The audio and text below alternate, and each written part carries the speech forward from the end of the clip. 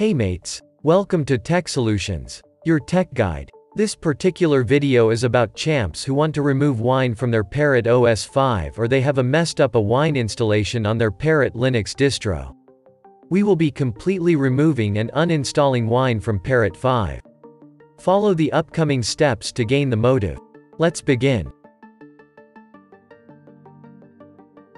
You must be seeing we have a valid wine installation on our system. Wine 7.7 is installed. Let's remove it wisely.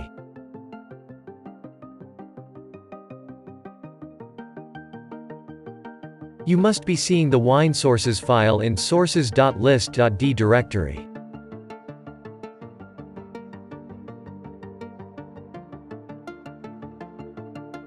Similarly wine GPG key is also present in the shown directory.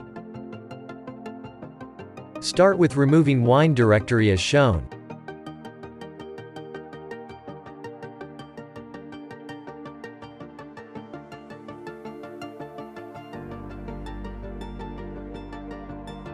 Now remove wine with an additional syntax of purge.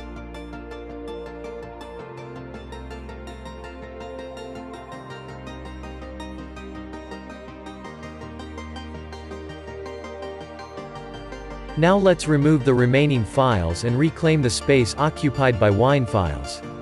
You can use the shown command for this. You must be seeing the disk space that will be freed while removing wine.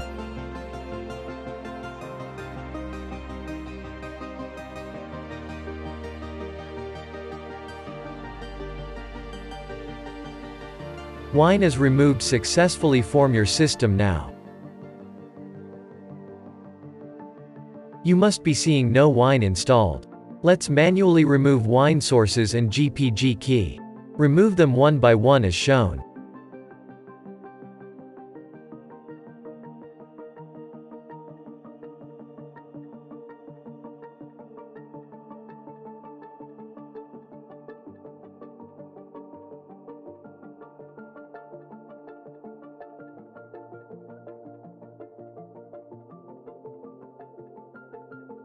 All done. You may want to run apt update now.